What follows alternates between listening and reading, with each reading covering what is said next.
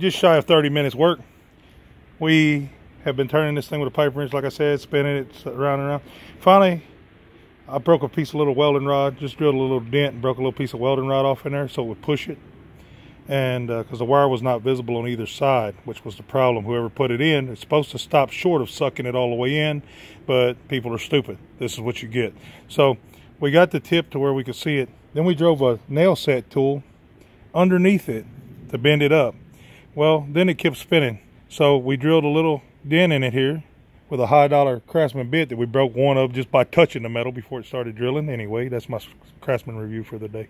So drill a little dent in it, took a flat punch, or pin punch people call them, and tapped up on it Why my young son spun it with a pipe wrench. We did it at the same time. Now the wire is sticking out, so we're just going to grab the wire now and put pressure on it. He's going to spin it, and we're going to successfully pull this wire out of here with no problem, like should have happened in two seconds at the beginning of the video.